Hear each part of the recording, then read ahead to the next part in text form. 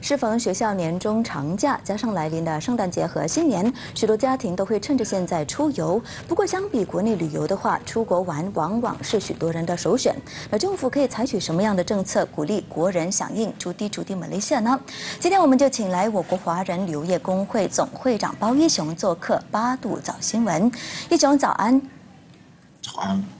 一休想请问问你，旅游局昨天就透露，截至今年的九月份，到访我国的外国游客数量呢，只有疫情爆发前的一半。那么在等待海外游客回流的当儿，其实我们到底可以做些什么来振兴和鼓励国内旅游双管齐下复苏这个旅游业呢？嗯，大家所知的话，哈，就是说呢，目前国外的旅客进来马来西亚的情况还是不明朗。尤其像我们最大的市场，像中国，到目前的话呢，还是没有开放。那么的话呢，促成了，因为中国是我们市场上最大的这一个旅游市场之一，所以目前的话呢，对于国外呢，既然我们不能够控制，那我们只好鼓励以国内的旅游。国内的旅游的话呢，当然就是以国。家自己本身公民呢，到自己本身的这一个旅游景点去旅游。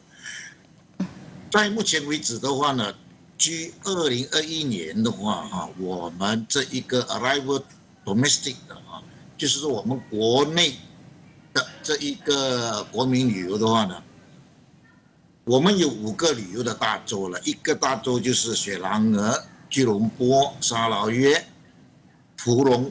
跟这一个呃冰城，那么的话所知的话呢，去年所得到的二零二一年的这一个数目字呢，雪兰莪就吸引了是一千万人左右，吉隆坡呢是九百万，沙捞越六点五百万，那么的话呢，森美兰呢就是有五点五，冰城的五点一。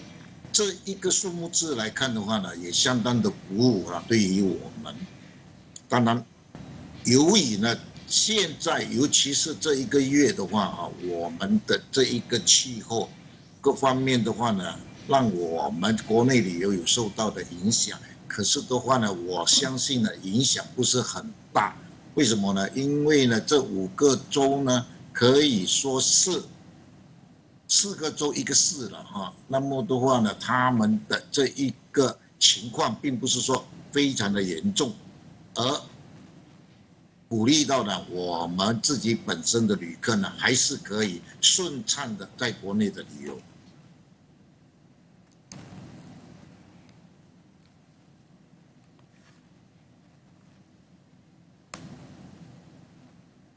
好的，我们非常感谢总会长今天早上的分享，谢谢您。谢谢。